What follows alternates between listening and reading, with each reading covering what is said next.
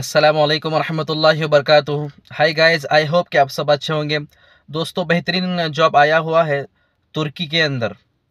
ये काम बहुत बेहतरीन है और अल्हम्दुलिल्लाह बहुत अच्छा काम है और सैलरी भी बहुत बेहतरीन है। उससे पहले मैं आपको बताना चाहता हूँ, जो बंदे अभी तक मेरे यूट्यूब चैनल को सब्सक्राइब नहीं किए यूट्यूब चैनल को सब्सक्राइब कीजिए। तो देखिए, ये जो काम है चिकन फैक्ट्री है। उसके अंदर लेबर चाहिए हमें।